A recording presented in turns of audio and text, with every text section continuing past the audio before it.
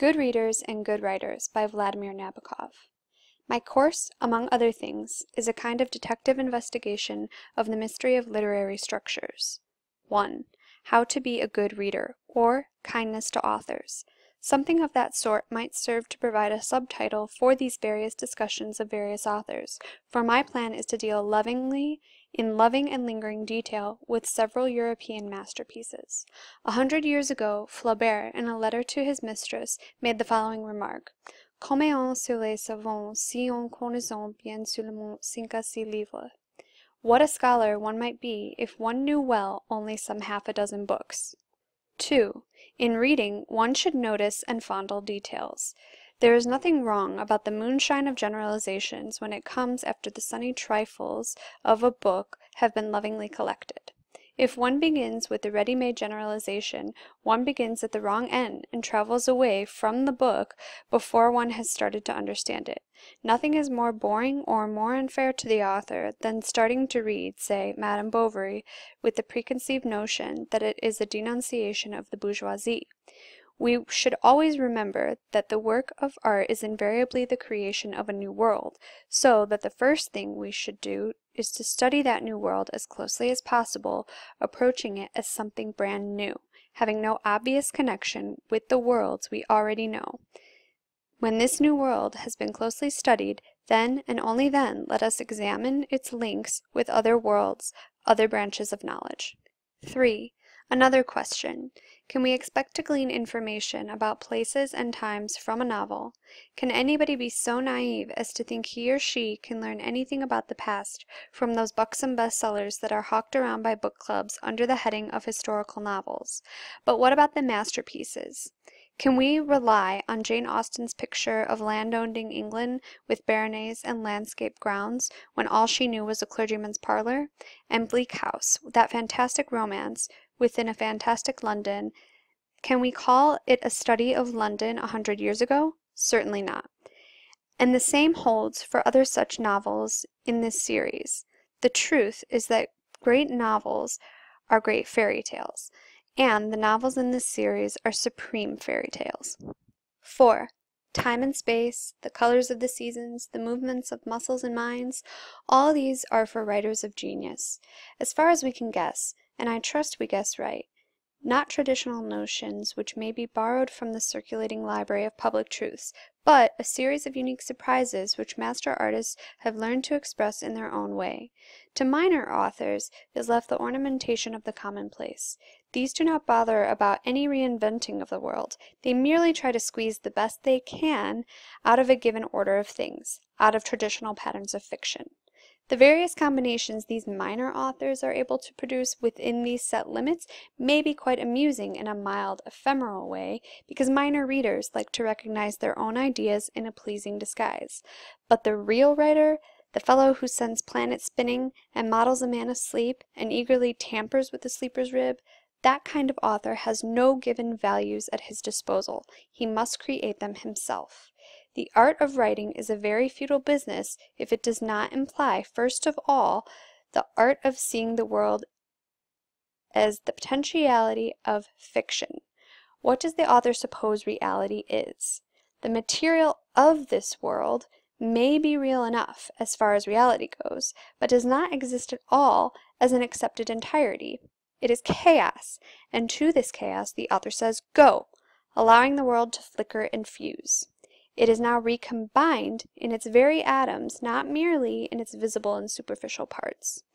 The writer is the first man to mop it and to form the natural objects it contains. Those berries there are edible. That speckled creature that bolted across my path might be tamed. That lake between those trees will be called Lake Opal, or, more artistically, Dishwater Lake. That mist is a mountain, and that mountain must be conquered. Up a trackless slope climbs the master artist, and at the top, on a windy ridge, whom do you think he meets? The panting and happy reader. And there they are spontaneously embraced and are linked forever if the book lasts forever. 5. One evening, at a remote provincial college through which I happened to be jogging on a protracted lecture tour, I suggested a little quiz, tone, 10 definitions of a reader, and from these 10, the students had to choose four definitions that would combine to make a good reader. I have mislaid the list, but as far as I remember, the definitions went something like this. Select four answers to the question, what should a reader be to be a good reader? 1.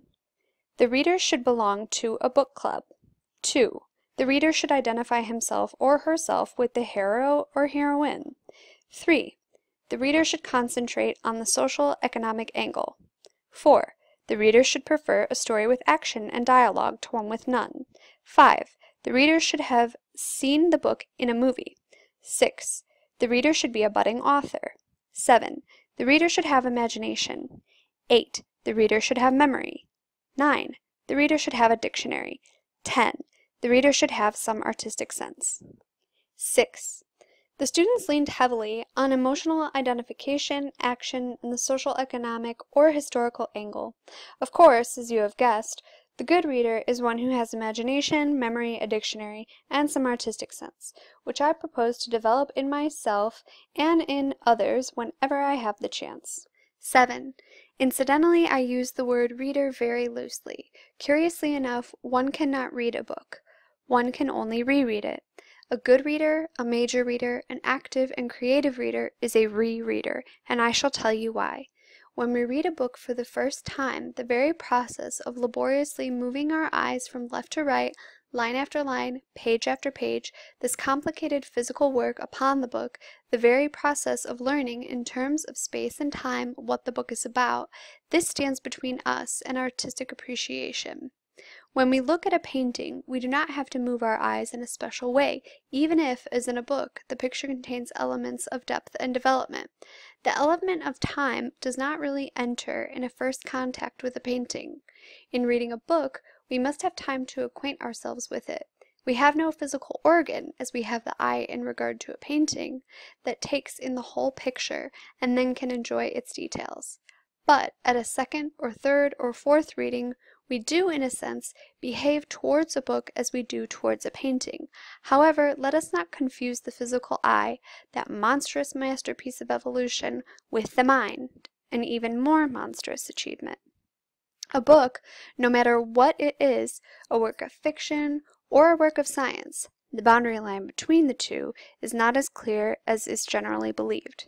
A book of fiction appeals first of all to the mind.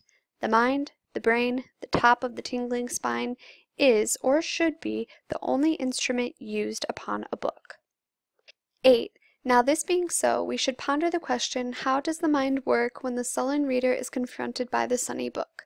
First the sullen mood melts away, and for better or worse the reader enters into the spirit of the game. The effort to begin a book, especially if it is praised by people whom the young reader secretly deems to be too old-fashioned or too serious, this effort is often difficult to make, but once it is made, rewards are various and abundant. Since the master artist used his, his imagination in creating his book, it is natural and fair that the consumer of a book should use his imagination too. 9. There are, however, at least two varieties of imagination in a reader's case, so let us see which one of the two is the right one to use in reading a book. First, there is the comparatively lowly kind, which turns for support to the simple emotions and is of a definitively personal nature. There are various subvarieties here in this first section of emotional reading. A situation in a book is intensely felt because it reminds us of something that happened to us or someone we know or knew, or, again, a reader treasures a book mainly because it evokes a country, a landscape, a mode of living he nostalgically recalls as part of his own past. Or, and this is the worst thing a reader can do, he identifies himself with a character in the book. This lowly variety is not the kind of imagination I would like readers to use. 10. So what is the authentic instrument to be used by the reader? It is impersonal imagination and artistic delight. What should be established, I think, is an artistic harmonious balance between the reader's mind and the author's mind. We ought to remain a little aloof and take pleasure in this aloofness, while at the same time we keenly enjoy, passionately enjoy, enjoy with tears and shivers, the inner weave of a given masterpiece. To be quite objective in these matters is of course impossible. Everything is worthwhile as to some extent subjective. For instance, you sitting there may be merely my dream, and I may be your nightmare. But what I mean is that the reader must know when and where to curb his imagination, and this he does by trying to get clear and specific world the author places at his disposal. We must see things and hear things. We must visualize the rooms, the clothes, the manners of an author's people, the color of Fanny Price's eyes in Mansfield Park, and the furnishing of her cold little room are important. 11. We all have different temperaments, and I can tell you right now that the best temperament for a reader to have or to develop is a combination of the artistic and the scientific one. The enthusiastic artist alone is apt to be too subjective in his attitude towards a book, and so a scientific coolness of judgment will temper the intuitive heat. If, however, a would-be reader is utterly devoid of passion and patience, of an artist's passion and a scientist's patience, he will hardly enjoy great literature. 12. Literature was born not the day when a boy crying wolf, wolf came running out of the Neanderthal valley with a big gray wolf at his heels. Literature was born on the day when a boy came crying wolf, wolf, and there was no wolf behind him. That the poor little fellow, because he lied too often, was finally eaten up by a real beast is quite incidental. But here is what is important. Between the wolf in the tall grass and the wolf in the tall story, there is a shimmering go between. That go between, that prism, is the art of literature. 13. Literature is invention, fiction is fiction. To call a story true is to call an insult to both art and truth. Every great writer is a great deceiver, but so is that arch cheat nature. Nature always deceives, from the simple deception of propagation to the prodigiously sophisticated illusion of protective colors in butterflies or birds. There is in nature a marvelous system of spells and wiles. The writer of fiction only follows nature's lead. 14. Going back for a moment to our wolf-crying woodland little woolly fellow, we may put it in this way. The magic of art was in the shadow of the wolf that he deliberately invented, his dream of the wolf. Then the story of his tricks made a good story. When he perished at last, the story told about him acquired a good lesson in the dark around the campfire. But he was the little magician. He was the inventor. 15. There are three points of view from which a writer can be considered. He may be considered as a storyteller, as a teacher, and as an enchanter. A major writer combines these three, storyteller, teacher, enchanter, but it is the enchanter in him that predominates and makes him a major writer. 16. To the storyteller we turn for entertainment, for mental excitement of the simplest kind, for emotional participation, for the pleasure of traveling in some remote region in space or time. A slightly different, though not necessarily higher mind, looks for the teacher in the writer, propagandist, moralist, prophet. This is the rising sequence. We may go to the teacher not only for moral education, but also for direct knowledge of simple facts. Alas, I have known people whose purpose in reading the French and Russian novelists was to learn something about life in gay Paris or in sad Russia. Finally, above all, a great writer is always a great enchanter, and it is here that we come to the really exciting part when we try to grasp the individual magic of his genius and to study the style, the imagery, the pattern of his novels or poems. 17. The three facets of the great writer magic, story, lesson are prone to blend in one impression of unified and unique radiance, since the magic of art may be present in the very bones of the story, in the very marrow of thought.